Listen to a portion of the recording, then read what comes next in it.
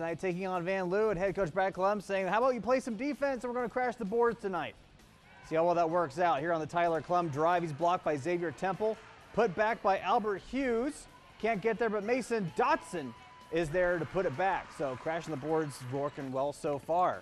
Over on the other side, Vanlue trying to get it going. Freshman Jaron Klopfer gets the inside pass, and he puts it in for Vanlue. Following a rebound, Logan McClure takes the ball away and lays it up and in. And then we'll see some good passing here. Clum to McClure to Dotson. Two pointer, long two, but it still counts as two. East rolls tonight over Vanlue 71 to 35.